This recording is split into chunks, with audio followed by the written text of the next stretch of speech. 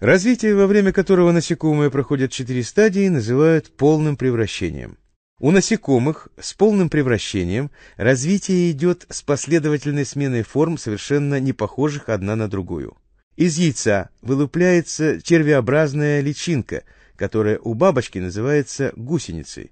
Гусеница ползает, много ест, несколько раз линяет и с каждой линькой становится крупнее. В результате последней личиночной линьки образуется куколка, которая не двигается и не питается. Куколки разных отрядов насекомых с полным превращением имеют различное строение. Внутри куколки происходит глубокая перестройка организма с формированием тканей и органов взрослого насекомого.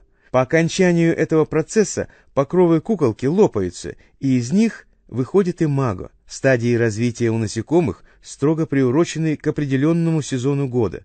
Это явление получило название сезонного цикла.